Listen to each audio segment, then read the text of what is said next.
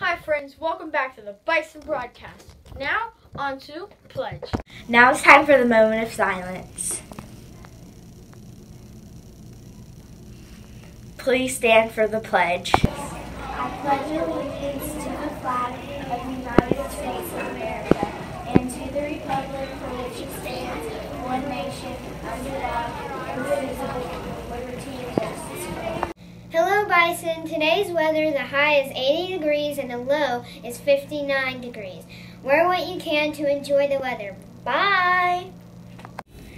For Friday, we have a great lunch of pizza crunchers, chicken sandwich, potato smiles, broccoli cheese, sidekick slush, and fresh fruit cup. Bon appetit!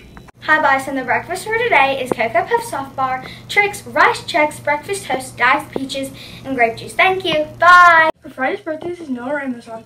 Saturday's birthdays is Audrey Crispin, Grayson Wiggins, and for Sunday's birthdays is Damala Bello, Sandy Frano, Willa Frano, Paige Head, and Joseph Russell. Have a great birthday.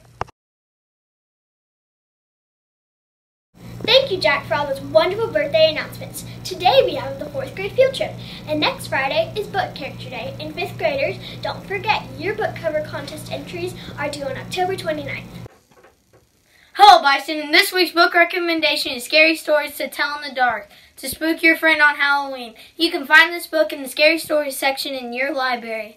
That's all for this week's book recommendation. Have a great weekend. See you next time. Hello, welcome to Peer Challenge. Next week's Peer Challenge is to make a friend. It's never a bad idea to make a new friend. Here's Dr. Mason with the Principal's Challenge. Good morning, Bison. It is time for the Principals Challenge. You guys did a great job last week turning in your logs. A lot of you got those in early, so good for you. Congratulations on getting that turned in for the first quarter. Your Principals Challenge this week is going to be to choose what book character you're going to be for Friday's book character parade.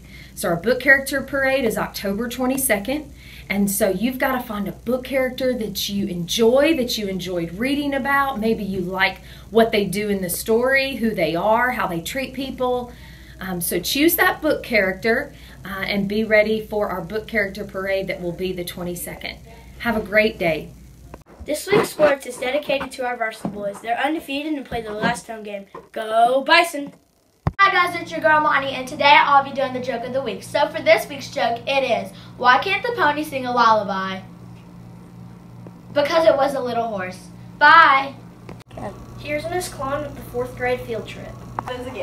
hey, Miss Klon, can you tell us about the fourth grade field trip? Sure. This Friday we're going to Rock Castle. It's here in Hendersonville. It is a colonial home and they give you information about colonial times. Thank you.